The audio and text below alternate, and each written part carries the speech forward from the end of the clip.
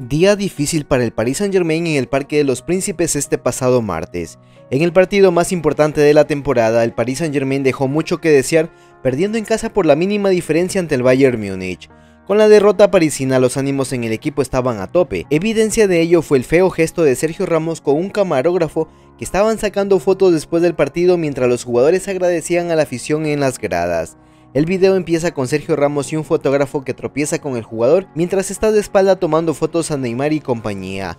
Ramos reclama que tenga más cuidado y en ese instante otro camarógrafo que intentaba sacar una foto a Neymar vuelve a rozar a Sergio Ramos y esta vez la reacción del español es repugnante. Con toda la fuerza empuja al fotógrafo que lo había rozado por segunda ocasión sin pensarlo ni dudarlo.